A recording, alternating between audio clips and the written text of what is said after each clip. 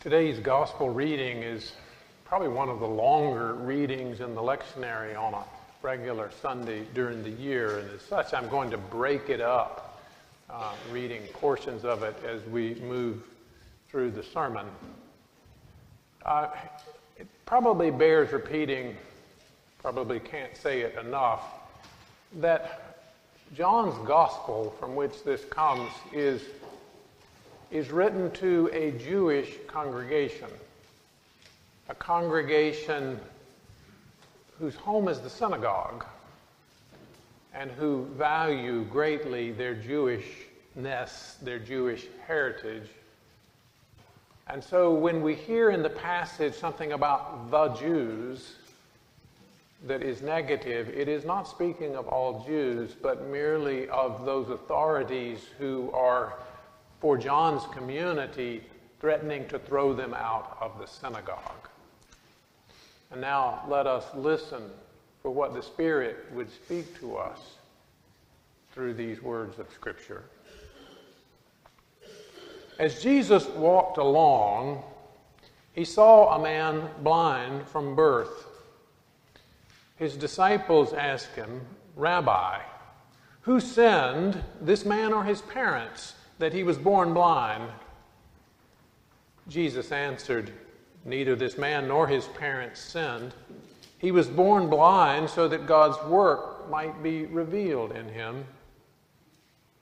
We must work the works of him who sent me while it is day. Night is coming when no one can work. As long as I am in the world, I am the light of the world. When he had said this, he spat on the ground and made mud with the saliva and spread the mud on the man's eyes, saying to him, Go wash in the pool of Siloam, which means sent. Then he went and washed and came back able to see.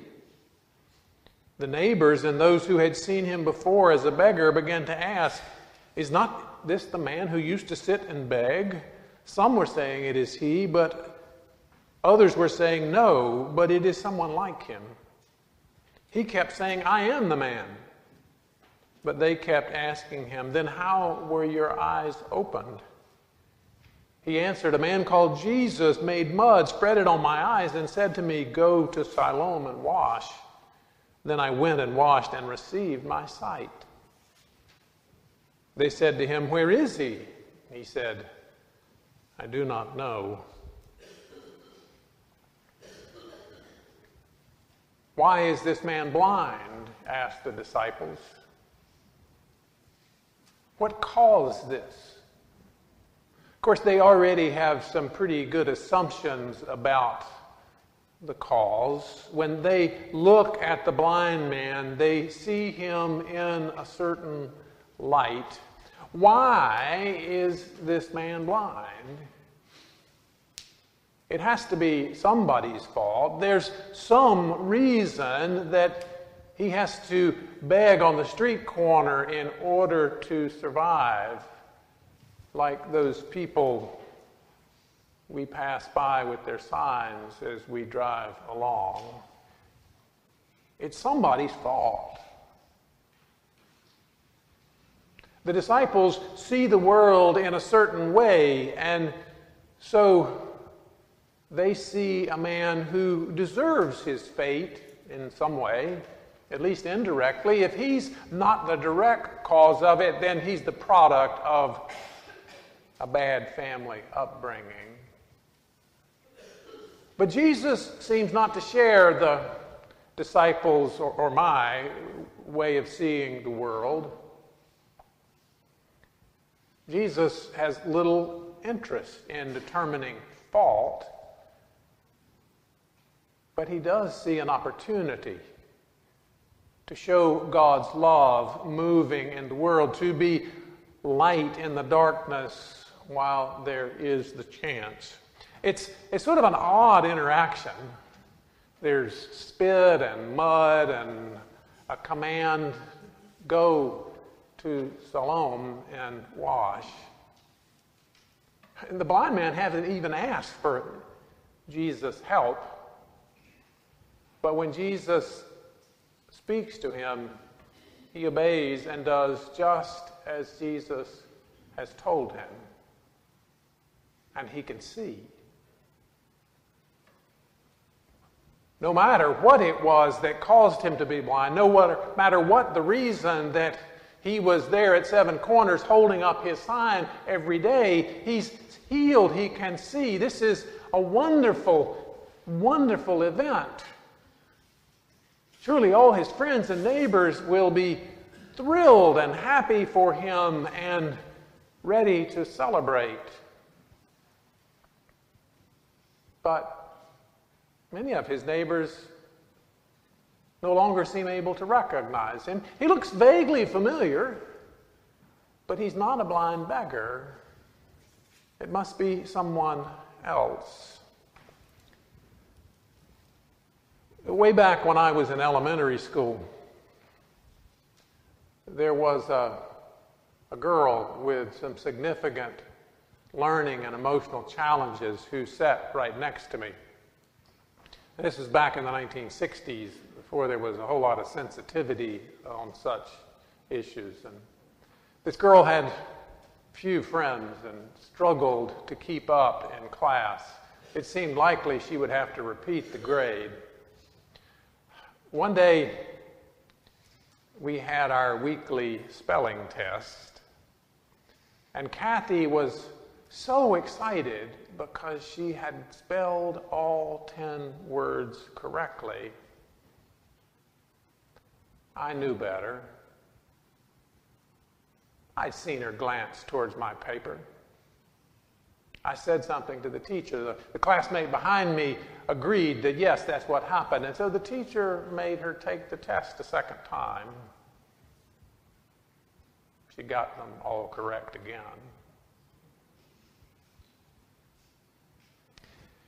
They brought to the Pharisees the man who had formerly been blind. Now, it was a Sabbath day when Jesus made the mud and opened his eyes. Then the Pharisees also began to ask him how he had received his sight. He said to them, He put mud on my eyes, then I washed, and now I see.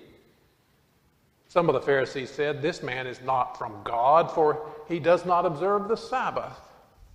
But others said, How can a man who is a sinner perform such signs? And they were divided. So they said again to the blind man, What do you say about him? It was your eyes he opened. He said, He is a prophet. The Jews did not believe that he had been blind and had received his sight until they called the man's parents and and asked them, Is this your son, who you say was born blind? How then does he now see?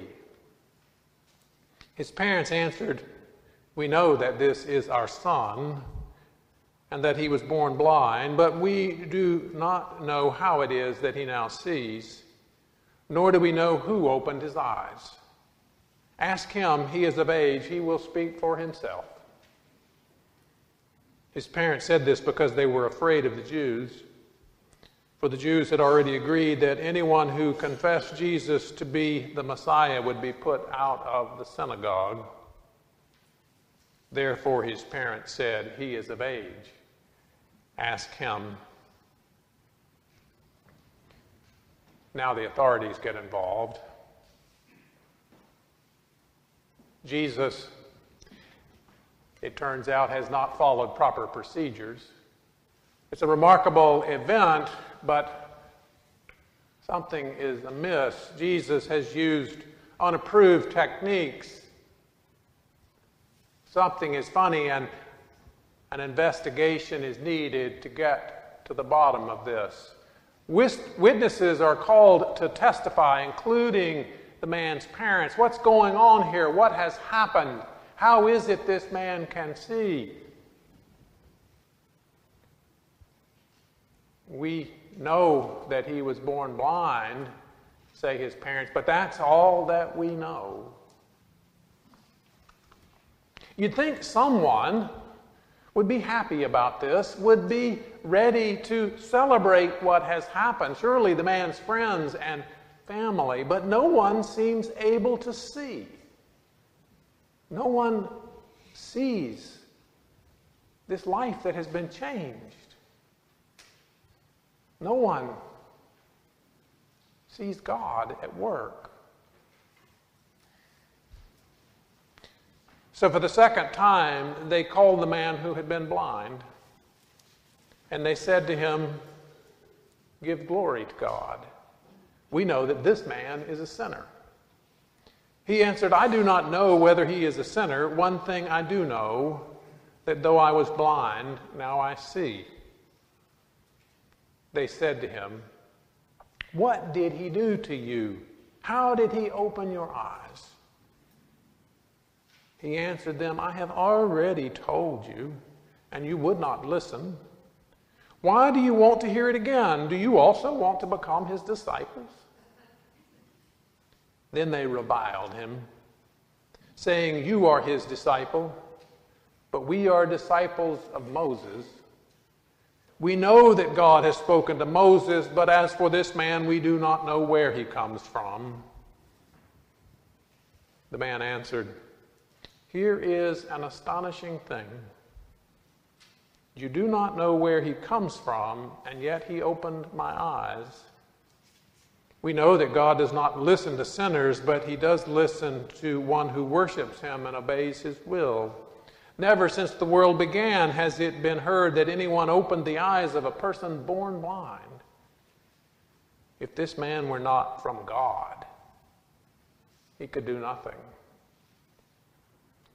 They answered him, You were born entirely in sin, and are you trying to teach us? And they drove him out. The investigative committee is getting frustrated.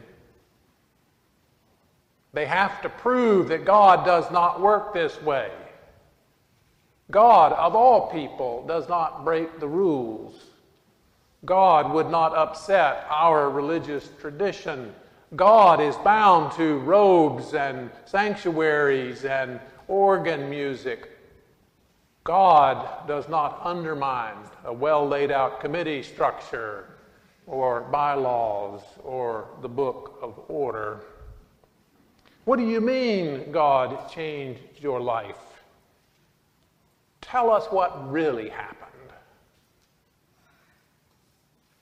A, a curious thing happens during this investigation. The authorities grow more and more sure of their assumptions and their certainties, more and more confirmed in their blindness, while the blind man sees better and better, understands more and more. At first, he thought Jesus was a prophet. Now he says he is from God. The investigation is at an impasse. Clearly, the man is deranged. God does not work this way.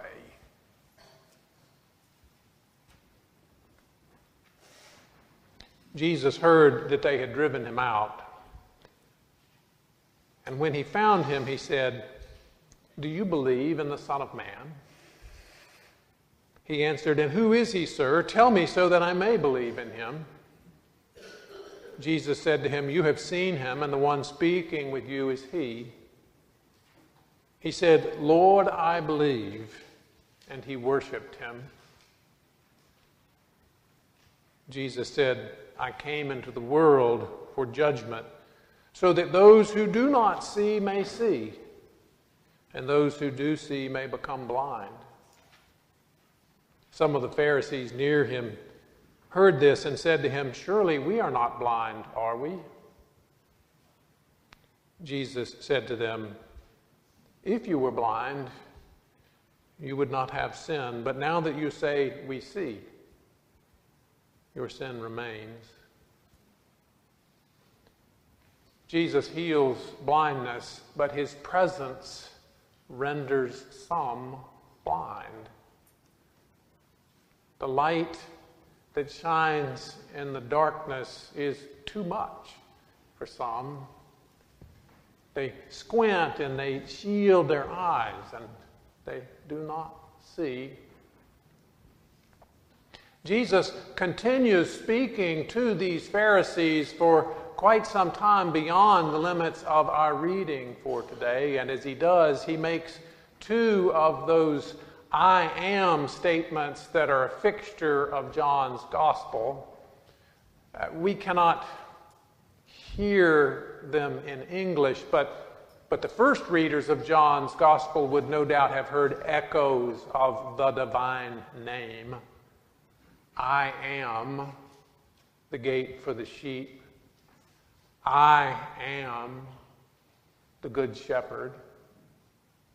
I know my own and they know me. They will listen to my voice. Apparently, encountering God, encountering Jesus involves hearing as well as sight. The blind man hears Jesus, obeys Jesus before he ever sees him, before he ever realizes who Jesus is. He hears and obeys and is changed. Dietrich Bonhoeffer, the great German theologian, says that this is what happens when people answer the call of Jesus to follow him. Bonhoeffer writes If we would follow Jesus, we must, must take certain definite steps. The first step, which follows the call, cuts the disciple off from his previous existence. The call to follow at once produces a new situation. To stay in the old situation makes discipleship impossible. That's exactly what happens with the blind man. He does as Jesus said, and he is changed, and that change renders him unrecognizable to many. Even his family is ambivalent about these changes that have taken place. But the blind man sees and he believes and he worships Jesus. Nearly all the church people I have ever met want to be close to God. And that's surely true of every single person in the gospel reading that we have just heard. We all want to be close to God. But many of us, and that includes me on many and maybe most days, not really sure about being able to hear Jesus, much less see him. like the Pharisees, we think that the best we can do is to read our Bibles a little bit, see kind of what God has in mind, and do the best we can on our own.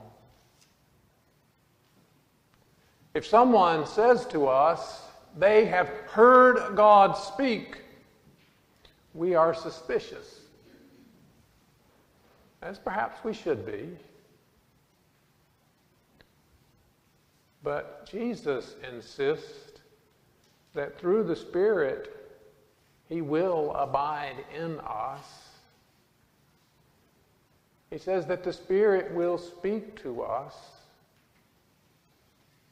and guide us, light, leading us towards abundant life, towards fuller and deeper relationship with God. O Christ, give us ears to hear. O Christ, touch our eyes, that your presence may not blind us, but that we may see you clearly and follow where you lead us. Amen.